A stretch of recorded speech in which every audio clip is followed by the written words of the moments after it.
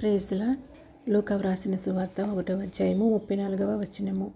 అందుకు మరియా నేను పురుషుని ఎరగని దాననే ఇదిలాగు జరుగునని దూతతో అనగా దూత పరిశుద్ధాత్మ నీ మీదికి వచ్చును. సర్వోన్నతిని శక్తి నిన్ను కమ్మకురును గనుక పుట్టబోవు శిశువు పరిశుద్ధుడై దేవుని కుమారుడు అనబడును పరిశుద్ధాత్మ దేవుడు మరియను కమ్ముకునుట వలన యేసుక్రీస్తు ప్రభువారు జన్మించినందున ఆత్మను బట్టి ఆయన దేవుని కుమారుడుగా శరీరమును బట్టి దావీదు వంశావళిలో పుట్టినందుకు దావీదు కుమారుడుగా కొత్త నిబంధనలో చాలామంది ద్వారా పిలువబడి పిలువబడ్డారు.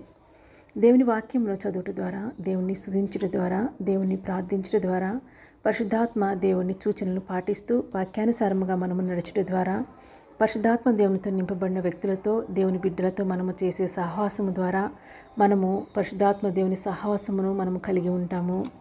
ఈ పరిశుద్ధాత్మ దేవునితో మనము సహవాసమును కలిగి ఉన్నప్పుడు ఆత్మ సంబంధమైన కృపావరాల్ని పొందుకుంటాము ఆత్మ ఫలాలను కలిగి ఉంటాము.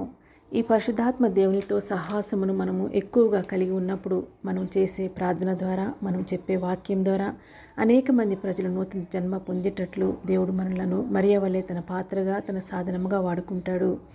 పరిశుద్ధాత్మ దేవునితో గాఢమైన సాహసమును కలిగి ఉన్న వ్యక్తులు సాధారణమైన వ్యక్తులే కానీ వాళ్ళు అసాధారణమైన కార్యాలు దేవుని కొరకు చేస్తారు. వాళ్ళు దేవుని కొరకు చేసే కార్యాలు పనులు అన్నీ కూడా బూది గంతముల వరకు విస్తరిస్తాయి సాక్ష్యం ఇస్తాయి. యేసుక్రీస్తు ప్రభు వారి శిష్యులు పరిశుద్ధాత్మను పొంది పరిశుద్ధాత్మ సాహసమును కలిగి ఉండి దెయ్యములను వెళ్ళగొట్టారు రోగులను స్వస్థపరిచారు అనేక అద్భుత ఆశ్చర్య కార్యములను చేశారు. భూమిని తలకిందులు చేయవారు అనే బిరుదును కూడా పొందారు. పరిశుద్ధాత్మతో సాహసమును కలిగి ఉంటే మన జీవితంలోనికి వచ్చే ప్రతి సమస్యను ప్రతి ఆటంకమును మనము జయిస్తాము. యేసుక్రీస్తు ప్రభువారి మరణ భూస్థాపన పునరుద్ధానముల తర్వాత పరలోకము నుండి మనకు అనుగ్రహింపబడిన ఈ పరిశుద్ధాత్మకు అన్నిటినీ జయించే శక్తి ఉంది.